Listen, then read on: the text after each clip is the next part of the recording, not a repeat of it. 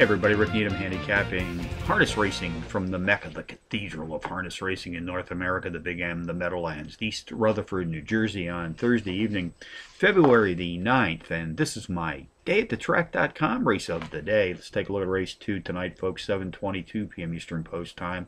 Three-year-old Colts and Geldings pacing for a purse of $12,500. Contenders number two, Social Network.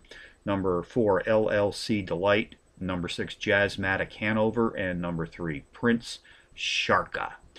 Number two, Social Network is both the overall speed and pace profile leader in this pacing field tonight. Comes off back to back to back power run wins in his last three starts. This entry has won nearly $31,000 in his last six races, which is easily the top earnings total in this field tonight. Number four, LLC Delight, an 8 to 1 shot, has posted a pair of power run wins in his last three starts.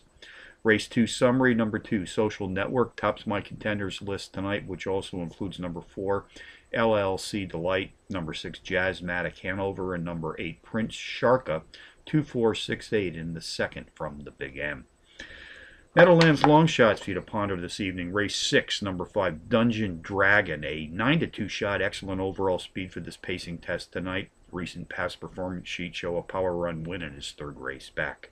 Race 10, the 9 to 2 shot. Number 8, Isthmus of Panama qualifies as a TrackMaster Plus Power Pony. Nice overall speed for this pacing test tonight. So from the Meadowlands on a Thursday night, Rick Needham for Day at the dayatthetrack.com, reminding you as always to please bet with your head, not over it.